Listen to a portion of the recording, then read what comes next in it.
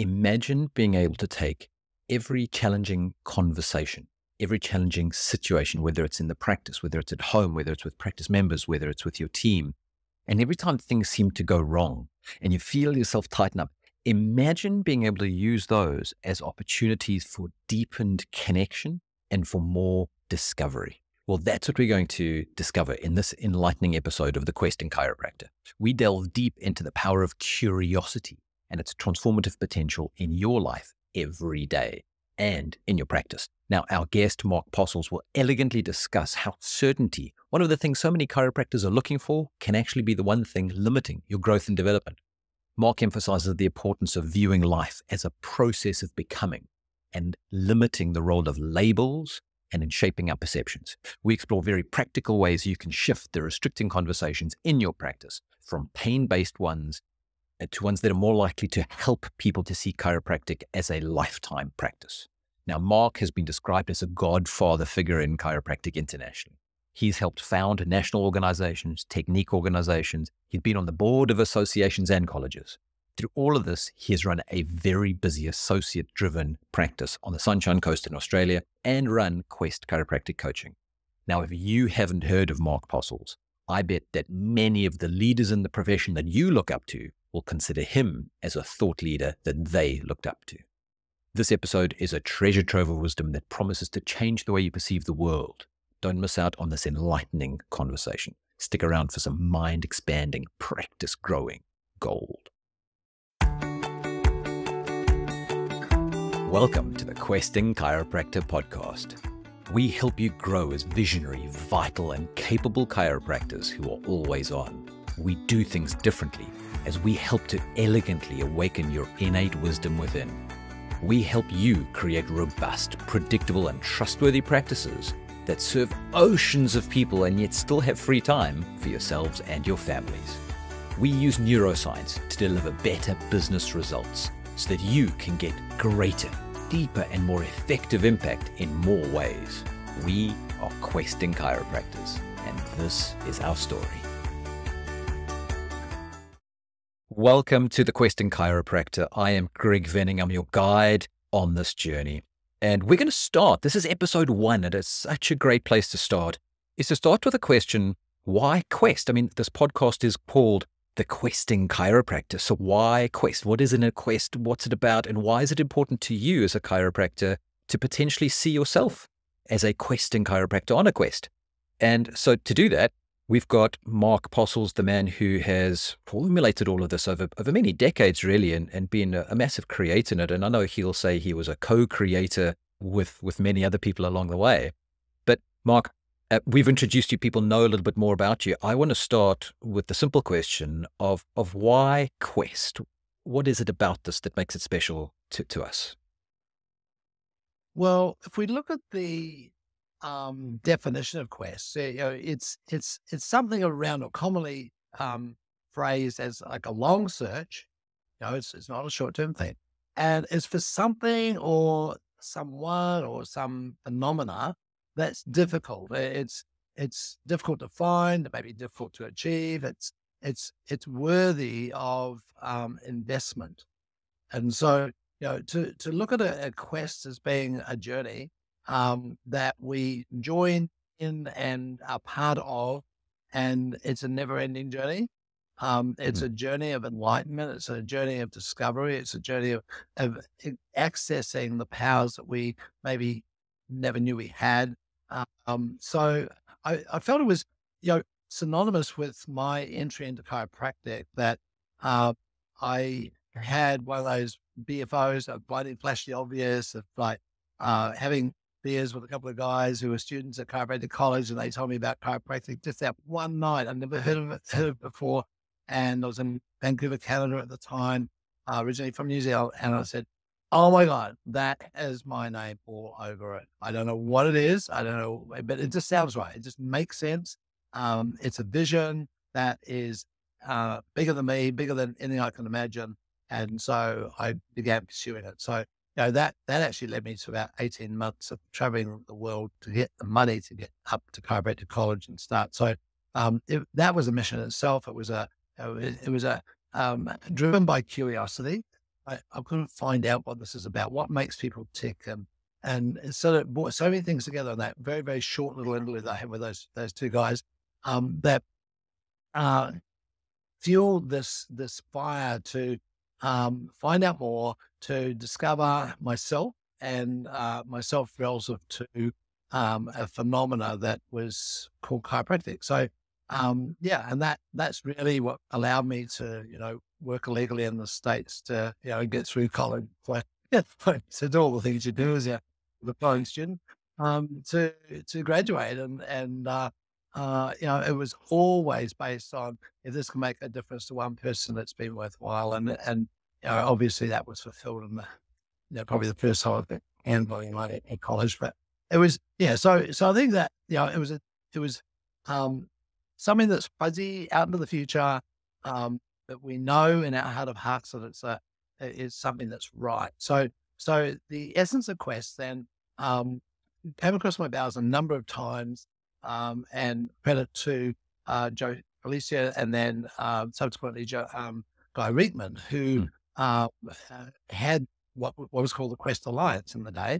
Um, and uh, yeah, he said, well, why don't you take it up in, in Australia, New Zealand, Australia, uh, Australia Australianize it so that it's uh, um, it's more palatable maybe than the than the American version, and um, you know run with it. So that was in terms of the name, that was it. But it was it was a name that I felt you know was drawn towards me, which I really resonated with. So that's the essence of it, and really that's the type of approach we take and see that everyone has every part that they need. You know, every every there's nothing missing.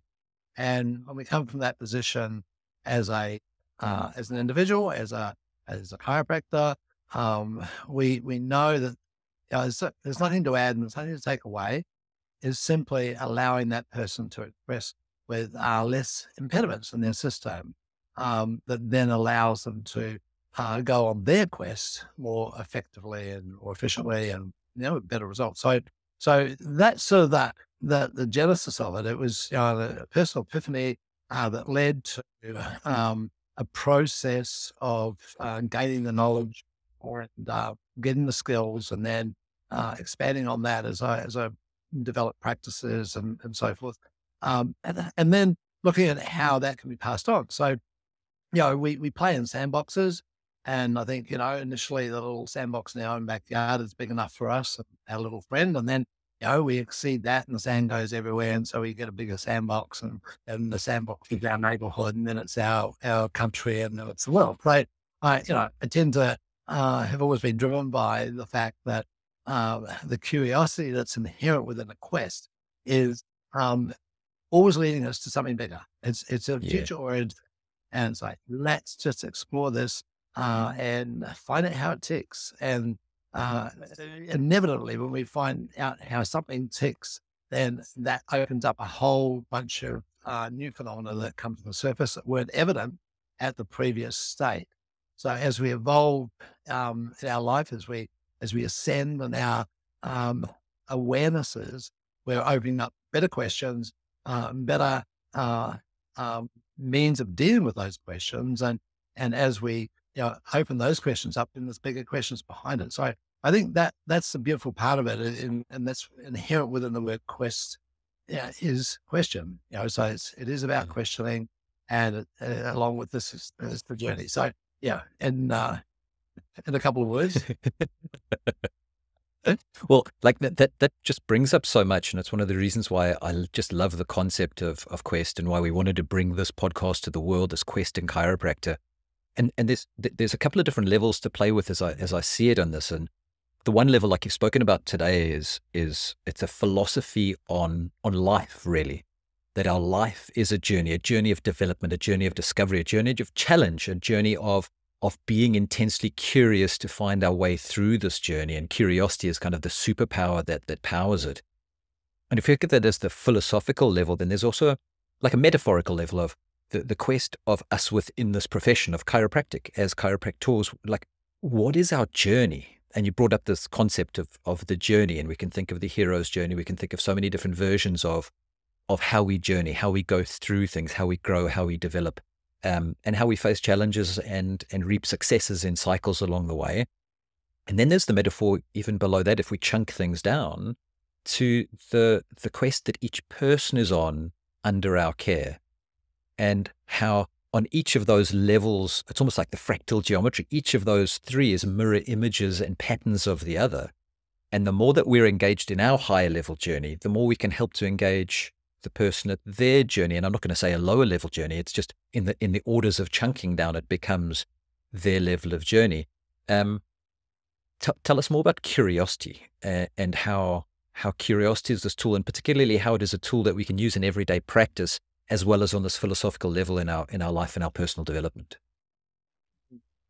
It's a it's a great question, and and it's really worth um, looking at this in the context of um, maybe what's the antithesis of curiosity, and uh, yeah, I, I would posit that it, that it is certainty. You know, when we're certain, um, there's no room for curiosity.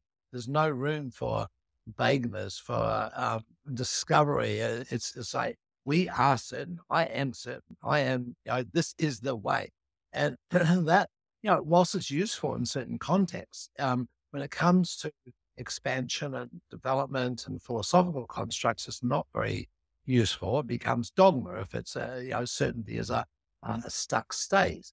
Um, so so if we look at look at it from, that position, that we as chiropractors, um, if we live in that land of of possibility, if we live in the land of hope um, for our people uh, and for ourselves, you know, ourselves always come first. In fact, I, you know, I think people just come into our office and pay us um, money so that we can uh, enjoy personal growth. You know? So really, you know, uh, it's, it's not about the people. Um, it's about ourselves. I, I know there's going to be people that say, "Oh no, it's all about and you know, we're gonna we're gonna you know, look after you." Yes, we do. And if we don't look after ourselves, we're not if we're not willing to uh, uh, allow ourselves the dignity to ask questions to ourselves, um, then the the rest of the game becomes rather hollow. So we usually find other other ways to um, sort of some sort of meaning, but it's external. And I I, I would say that you know the um, the understanding or the drive to the understanding of, of how people tick um, is the ultimate of, of what uh, within chiropractic we've called ADIO, you know, above down, inside out, um, recognizing that there's there is this incredible power within us that um, we are here to explore. And, mm. you know, we, we probably spend the first few years of our life forgetting our essence. Um, and, you know, we get enculturalized into a less than state.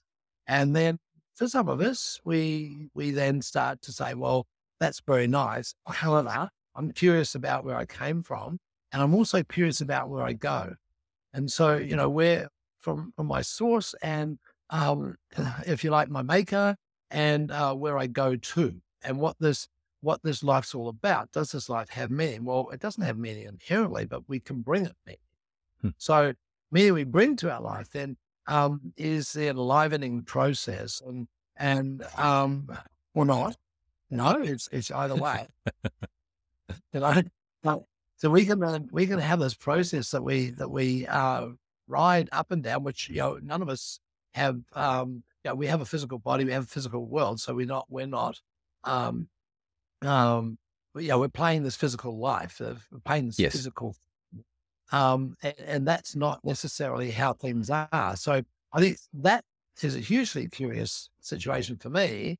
Um, is there isn't a way how we can play at different levels, and you know, look at a little child. I mean, they'll they'll they'll switch from being happy to being tired to being angry to being frustrated, um, back to happy again, um, all within ten minutes. You know, so so we have this flexibility and this pliability. I think this is one of the essential ingredients then to being uh, to being curious is uh, to be able to look at something from different perspectives and see the the magnificence magnificence of it, uh, the usefulness of it, the maybe lack of use of it in certain perspectives and so forth. So we our investigation of science is is driven by that, you know, yep. pure, pure science. You know, we we, we want to find out as a human being, we're we're drawn to that um, and I think that's an essential process. I think that's actually ascending into um, a, a, different level than we take on as being physical beings in a physical world. You know, we we start to to um, ask better questions, and that then opens up uh, better better problems. You know, better challenges, and and so the world goes round. So, and, and that's perfect because that's exactly what I wanted to get to next. Is is these are these are powerful concepts. These are these are deep, and I think that everybody listening can hear how and and has probably experienced in their lives how taking on this perspective of curiosity, of being on a journey, because it's what we ask our practice members to do in our practices all the time. Is you're not here for a one-hit wonder. We're here to help you on a journey towards your fulfillment, and the journey that that got you here will decide how long your chiropractic journey it is, and how intense it is, and what the frequency is, and and, and all of that. So we're asking them to go on a journey. And I, I, I, was thinking that right now it'd be really useful if we could give some of our listeners some really practical advice. And what you've just said there was was leading into that. Of uh, one of the things that I've, I've learned from you over time is in the first phase of care, it's really important to try and help somebody to shift their frame of of how they view their symptoms and how they view their body from one of fear and concern towards curiosity. And us being intensely curious about it helps them to be curious about it and, and then drives their journey towards finding their own answers behind the meaning. Like you just spoke about, we, we're always trying to ascribe meaning to things. Um, what are some other really practical ways this comes into our practice life, this, this concept of questing, of the journey, and of curiosity? Well, I think, you know, probably the, the thing that, that detracts most from it um, and tends to bring bring in that element of certainty is labels. Uh, so, you know, if we label something as good or bad, um, if we label something as a, a, normalization, in other words, you take a physiological process, which is um, it's the body doing something, what's the body, soul, energy, feel, whatever, but it's doing something, it's in motion. Yeah, everything's in motion. Every single thing, even the thickest bit of of, of um, mineral is in motion. Every rock's in motion. And yeah, financial. Uh, yeah, exactly. So, so it's like making sure that we have this uh, awareness that everything is, if you like, a verb, is doing. Hmm. Right? We are doing life. Um, a rock is doing a rock. Uh, you know, a glass does a glass, and, and so forth. So, um, but that's as a split second in time or a fraction of a second in time, you're going to see that, wow, there doesn't seem to be emotion here. But over time, we realize that, well, everything's emotion. Now, with our body, mm. uh, our, our physiology, uh, we have this phenomena of, um, uh, of dynamics of, of, movement, you know, neuroplasticity and myoplasticity and osteoplasticity. So, so, so those phenomena then, if they're seen as um, just that, that, that something that's sort of we're moving through, it's like a river, you know, a river is not a static thing. It's, it's flowing and we can't put our foot in the river twice, the same river twice. You know, you put your foot in the river and then take it out and put it in again. Well, it's a different river because it's flowing beyond where you were, you know. So, so I think, you know, if we, if we can have that, that awareness with our practice members that they become the observer of their body, they become the observer of their, of their, their thinking and of their, their psyche and consciousness then that that changes the dynamics. It changes the conversation for them because it takes them away from certainty. You see, you, you listen to a person that you know uh, who has something, you know, oh, I have a cold, or I have cancer, or I have you know rhinitis, whatever it happens to be. There's a there's an ownership there. That ownership then um, creates a solid state. You know, I am my disease and I am, you know, this particular state. So that identity that we put onto things um, is limiting. And that is, you know, that is where we do have the certainty. I'm certain that this is, that I am sick because I've got blah, blah, blah, you know. Um, as compared with well, what I'm noticing is, is my body is doing, etc. And uh, that this is uh, giving me sensations of, of maybe pain or maybe drippiness or maybe, you know, um, dizziness, whatever, whatever it happens to be, but it's a phenomena that we start to get towards observing. And then the accompanied them with that that lack of labeling or that that sort of that dynamic of of a, an integrated view of this, um, we can then see, well, this too shall pass. You know, because you know we if we have a label, the label's a label, and you know, I mean, kids grow up their whole life thinking, well, I'm dumb because I was told by a teacher once I was dumb. Yeah. Or, or whatever. So, you know, if, if it was, um, that teacher had some vision around, well, uh, you are going through a, a, period right now where you're doing confusion. And that's a really powerful state for a, a highly intellectual, very, very skilled, aware person. That means that you're going to be experiencing amazing stuff in your life. That's a whole different frame that that child would take um, forward with them. So, you know, if we can do that for our practice members, we can be there for our practice members to, to take away the labels and to see them and to allow themselves to see themselves as a process of becoming, then that then digs into the curiosity. It digs into, wow, isn't that fascinating that this is happening or that's happening? And, and allows them to then see the world in a, in a, in a way of possibilities, uh, a, a, an area of growth for them rather than limitation and so on. So I think, you know, fundamentally, just, you know, if we were to say just a couple of things there, um, you know, look at, look at the, look at the, the uh, labels as being constrict, restrictive and uh, free people up by giving them the power to uh, self-observe and reflect. Yeah, that's gorgeous.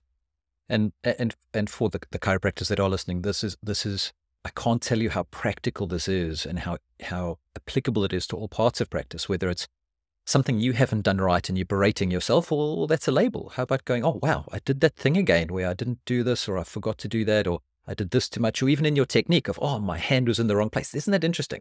Oh, I'm really curious about how that goes next time. Or if something happens at the front desk where a procedure didn't go the way you wanted to, or somebody didn't get the love and care and attention that we that your practice would aspire to, you go to your front desk team in curiosity instead of judgment, and suddenly their genius is allowed to open up and they'll own up to, well, this didn't go the way we needed, and here's a system that needs to change. And all of the things that you think would be your work to do, they, they will do, they will take on in that space of curiosity once they feel once they feel the trust and they feel the the nurture and the safety of that space. Correct. Correct. Yeah. It's beautiful. Yeah. So, Mark, this has been an amazing, and this is just a bite-sized chunk of what we're going to get into in the the questing chiropractor. Mark's going to be our guest again. We're going to have some of the other the, the pilots within Quest, the other coaches within Quest, come and join us in future episodes. Mark, what kind of things would you like to explore in a future episode? What do you think would be really useful for our listeners to to to focus on in a future episode? Oh man. Yeah, and I'm oh, putting you on the spot on this one. I really want the juice to flow right here. So it's just you and me. um, look, there. I mean, basically, you can think of anything in life, from thoughts to to to monies, um, systems to processes to hiring to firing to, I, you know, there is a viewpoint that one could take and, and everything in life. And as I said, you know, nothing's missing. And sometimes we have a lopsided perception. John Demartini speaks very strongly to this one in terms of the, you know, if we're only seeing one side of a story, then mm. um, there is another side of it.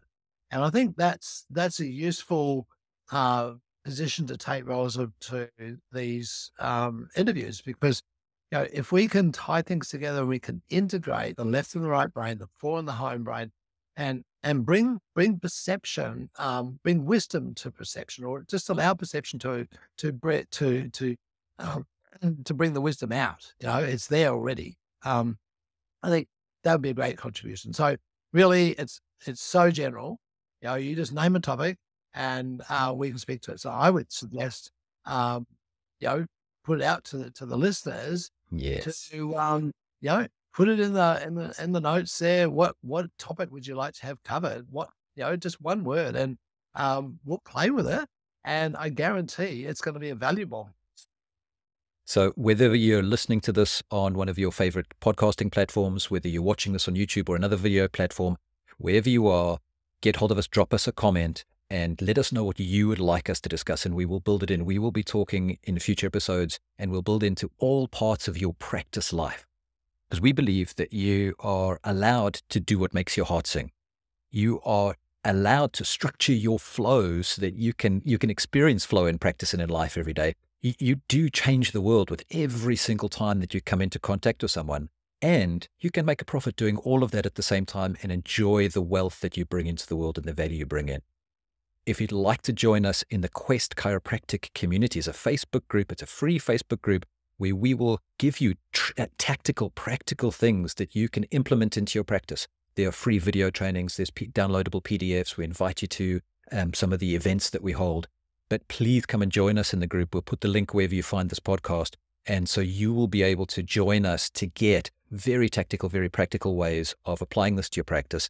And please um, subscribe to this podcast so that you can join the next episode where we're going to be exploring all these different parts of your practice life. And we're looking forward to this. This is a quest. We're going on this quest. This is episode one. I'm so keen to see where this ends up in this quest.